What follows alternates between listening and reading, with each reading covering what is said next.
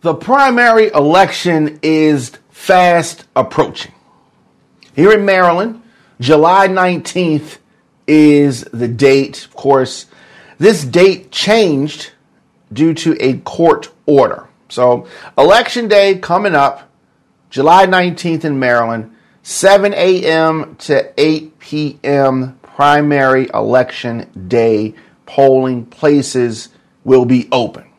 Now, re- with regards to early voting, centers will open on July 7th and uh, stay open until July 14th. You can vote early at any of the early voting centers in the jurisdiction that you live. Locations will be announced soon.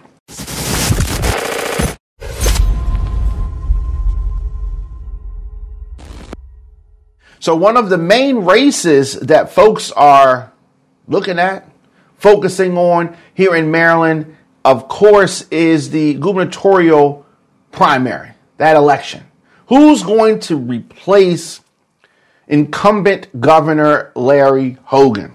Of course, Larry Hogan is term limited and is uh, serving out the uh, remainder of his term. He's had two Republican Lieutenant Governor uh, Boyd Rutherford announced earlier this month that he will not be a candidate for governor.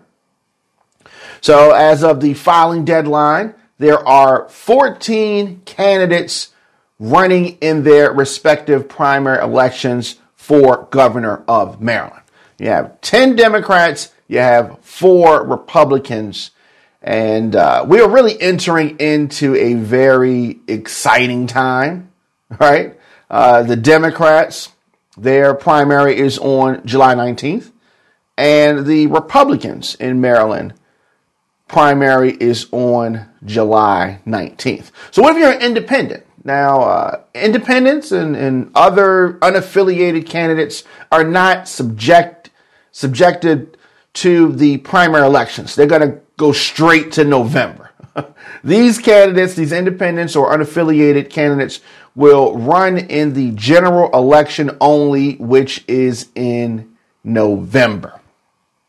So uh, there are a bunch of folks, as I said, 14 that are running for governor.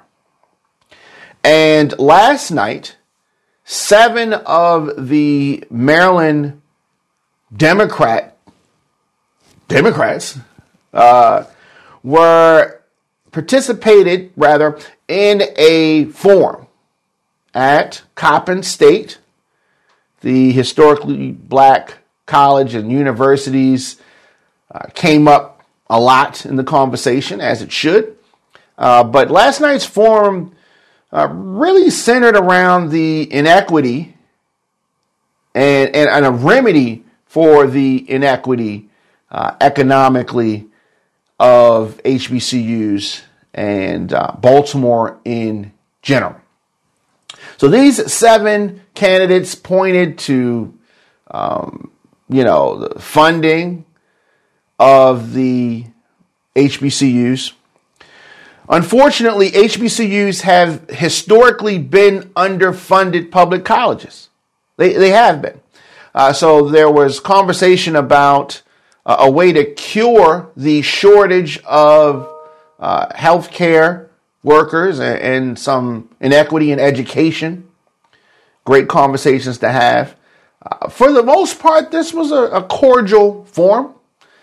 It has. I, think that things are going to have to dwindle down a little bit more before we really start uh, seeing these candidates go at each other. And um, when addressing their plans to implement the blueprint for Maryland's future education reforms, uh, there were some interesting comments. Wes Moore, who is one of the frontrunners on the Democratic side, and Tom Perez, the former Maryland and U.S. Labor Secretary, uh, both of these gentlemen said that Maryland's student bodies overwhelmingly is not represented by the educators in their classrooms, right? In other words, the uh, educators, the teachers, are disproportionately white. Tom Perez said, Our students are disproportionately non white, Perez said.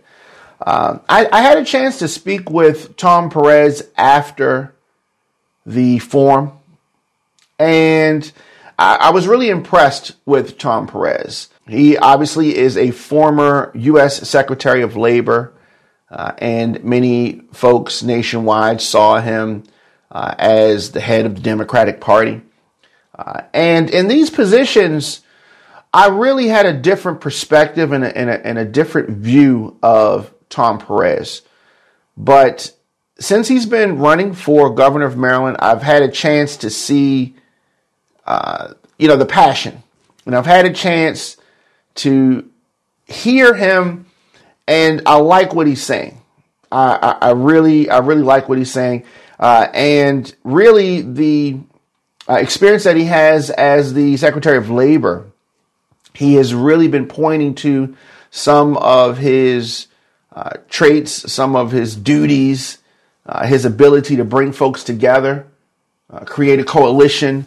Uh, these are things he talked about a labor strike where he was able to get folks to the table. These are some of the types of things that we need our politicians to be able to do. And especially here in Maryland, where you have uh, just a big line between the haves and the have nots, a big line between who has been getting money and who has been underfunded.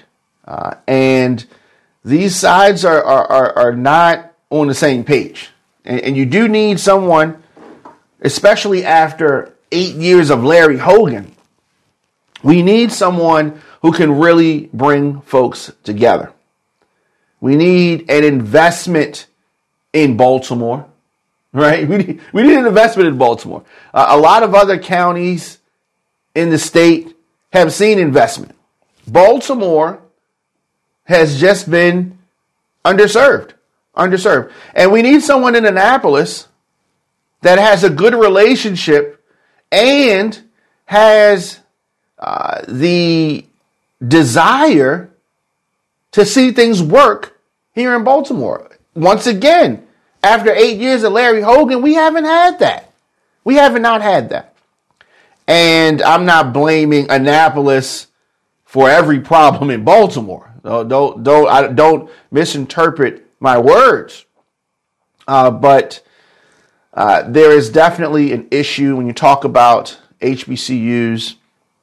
Uh, several several candidates running uh, running mates rather uh, attended HBCUs, right?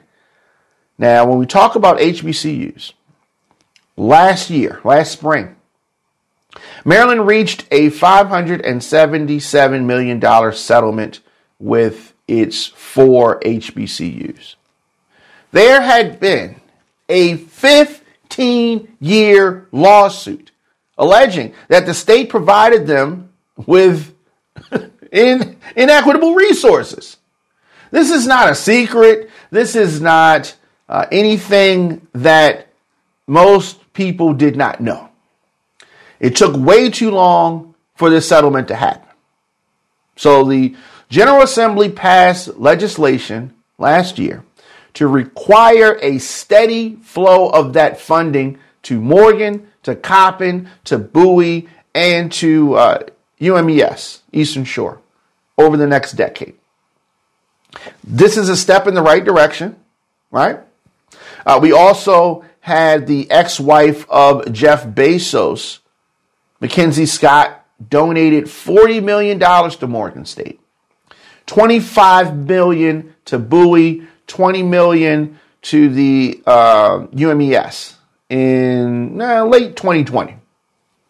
So now these uh, universities have to uh, plan how to best use that funding. And I want to, I'm really hoping that this money goes to the students, benefiting the students, and not in some uh, bureaucrats' pockets. So we had this candidate forum where we had seven Democrats who are trying to become the next governor of Maryland. And what did they talk about? Uh, it it was an I don't know, it was over a little bit over two hours of discussion, uh, but there were some standout moments. And you know, Wes Moore, someone who has been in the news lately, uh, as I said, one of the front runners, polished. He's he, he's polished. He, he he knows his spill. He he knows his shtick, right? He's had experience speaking, and he comes off as as what he is, a Rhodes Scholar. Uh, so uh, he brings that to the table. And uh, another person that I was very impressed with, a former Prince George's County executive, Rushern L. Baker III. Uh, went to Howard University, met his uh, late wife when they were both students at Howard. She went on to work at the uh, UNCF, United Negro College Fund, after she graduated. Uh, so uh, HBCUs something that is very important to him. And, uh, you know, I, I, I, like that fact. And, uh, you know, the forum, it, it was, it exceeded my expectations. And I want to see more of these. And uh, I wish it had been promoted more. Uh, but nonetheless, the forum also included Jon Baron, who I also had a chance to talk to uh, after the forum. Uh, I really liked the ideas. Uh, he's a fresh face. He's someone, that, I mean, incredibly, incredibly intelligent. And uh, he has he has the type of energy that is needed. He's a progressive, uh, a former vice president of evidence based policy, Arnold Ventures, right? So he's he's looking at things and one thing I, I really liked about uh, uh, Jon Baron was he recognized and pointed out on numerous occasions that these problems that we've been facing uh, here in, in Baltimore, in Maryland, in the country, are problems that we have been plagued with for years and years and years. And Mr. Baron pointed out, as a lot of his colleagues, uh, running mate, uh, uh you know, uh, his um, opponents, you know, kind of running down the same old same. Well, we're going to do this, we're going to do that. And uh, Jon Baron pointed out the fact that we've been doing it that way for years, and nothing is different. He he pointed out that a lot of these candidates are just giving us more of the same. Uh, it was a powerful moment, and I agree with him 100 percent. 100%. Uh, very progressive, but at the same time, uh, he is a let's look at the science kind of guy, right? Let's do what's been proven, right? Now, you have someone like uh, Rushern Baker, who is the president CEO of Baker Strategies. As I said, former Prince George's County executive, 2010 to 2018. And he was leaning on his experience, his experience as an executive, his experience in government, and his uh, knowledge on how to get things done. So, in addition to that, we had Doug Gansler, who is, of course, many people recognize him, or at least recognize his name. He's a former uh, Maryland Attorney General from 2007 to 2015.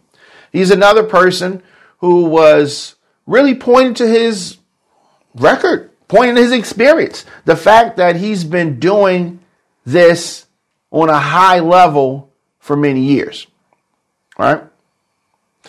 And uh, uh, there was, uh, you know, I don't want to say there were dust ups per se. Uh, Dr. Jerome Segal was, you know, put picture Bernie Sanders uh, he had he had that kind of energy, right? He had that kind of energy, and uh, he was definitely someone speaking his mind. He is the founder of Bread and Roses, the author of Grace Graceful Simplicity: the philosophy of polit- and politics of living simple or simple living. Uh, and, you know, 70, he's 78 years old and he is, he is on the far left of, uh, of, of what you would say the Democratic Party, right?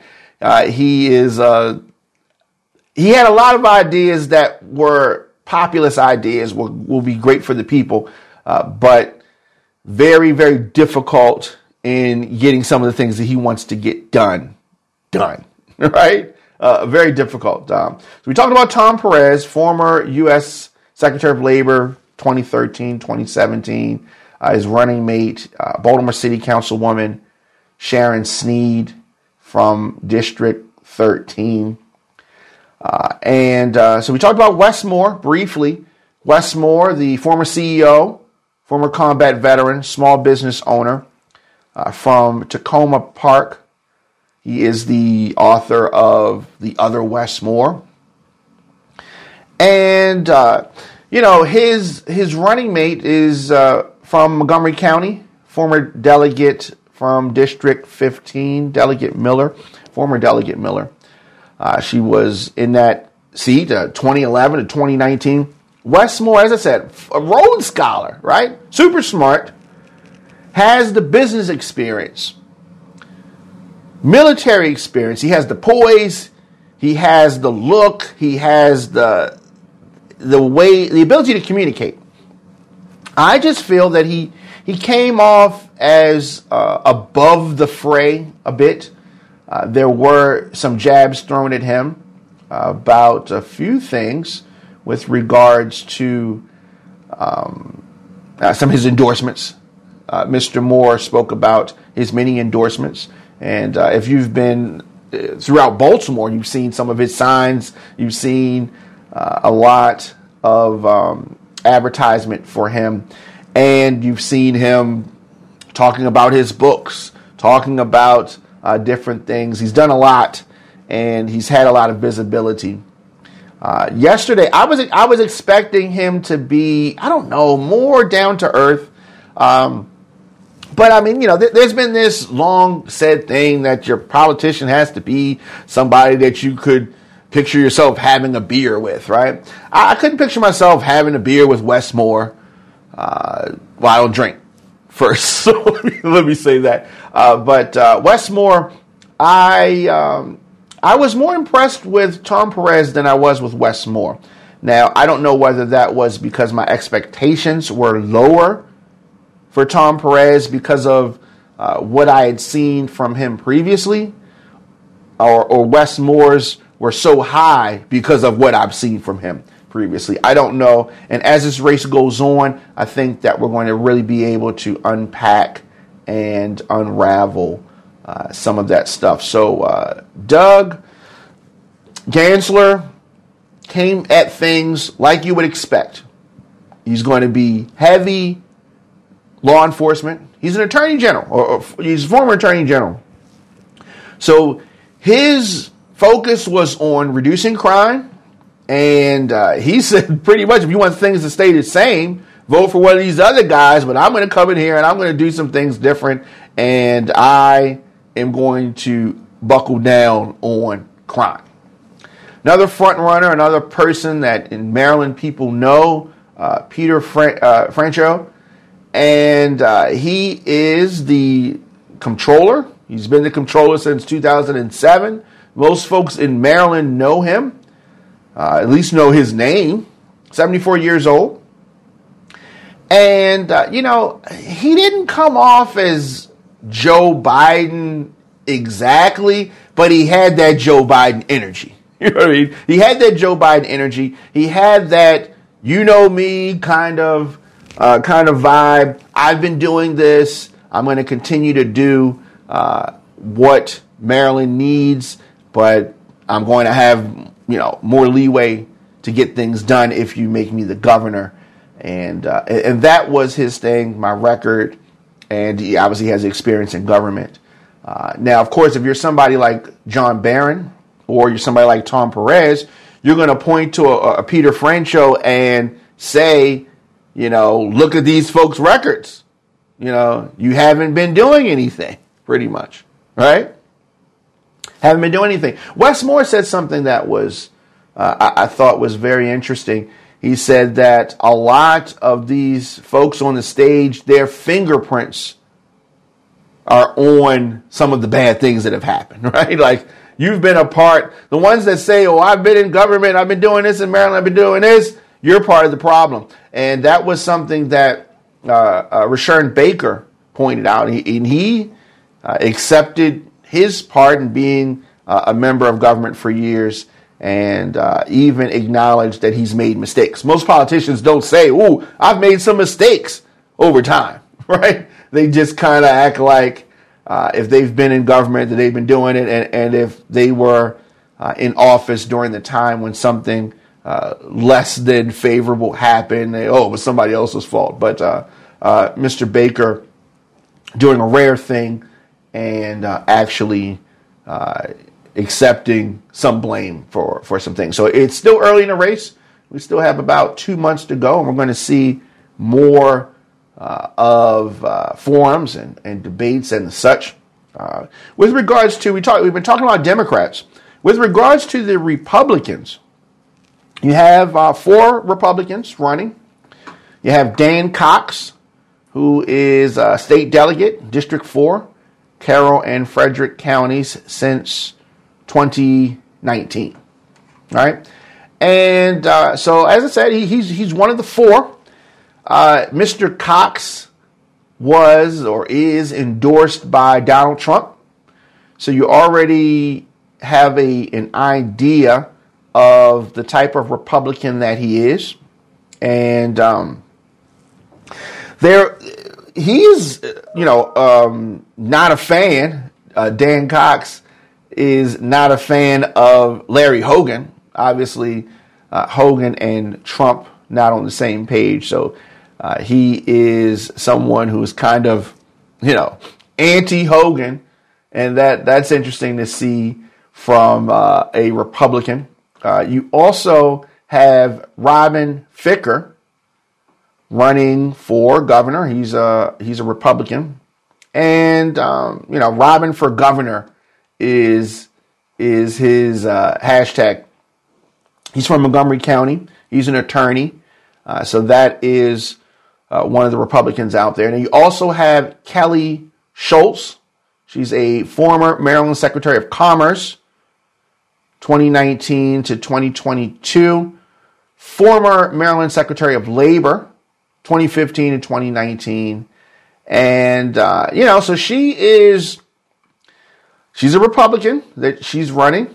And uh, so she has some some interesting ideas. Uh, and you know, we know what we're going to get from a Republican for the most part.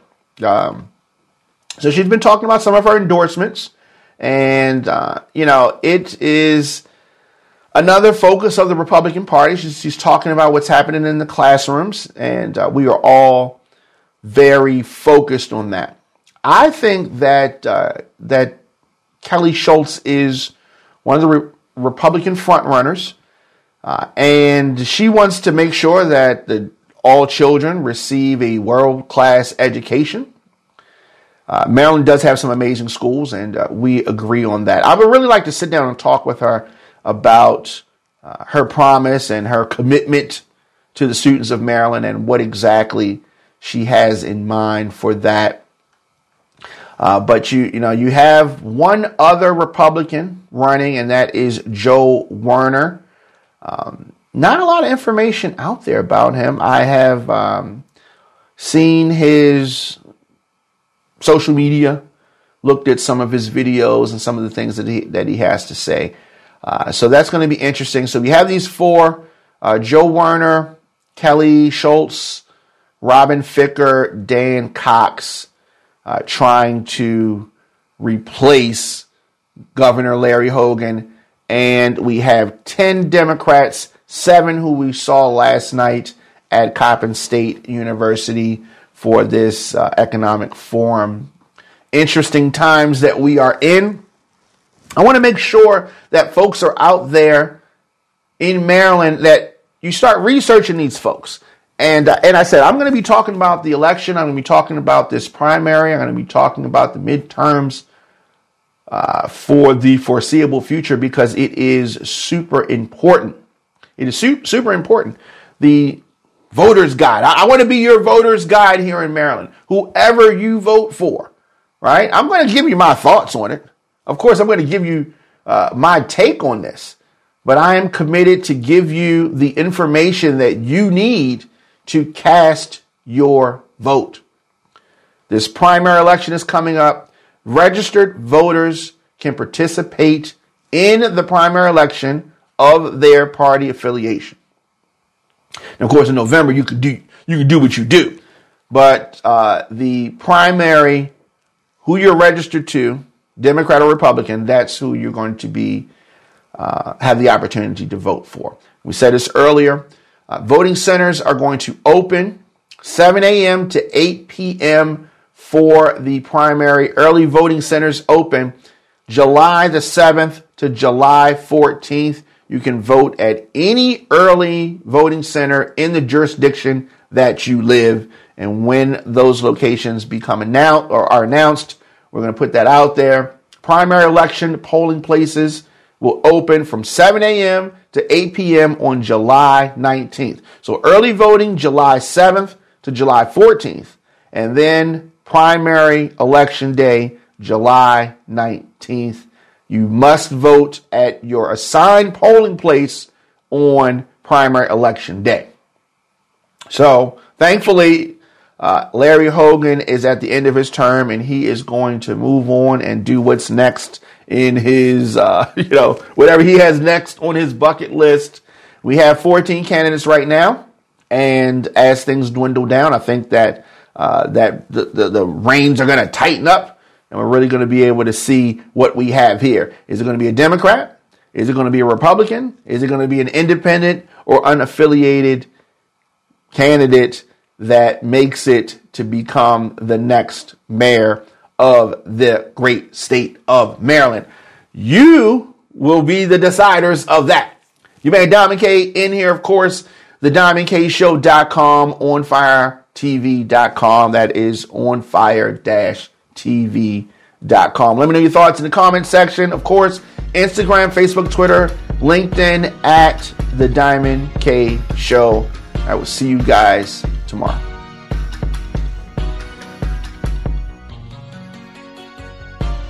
Tried your best, uh-huh. work real hard, said your prayers, gave it to God. He made a way when you saw none. Erased the fear helped you overcome. Now you did it. You reached the top.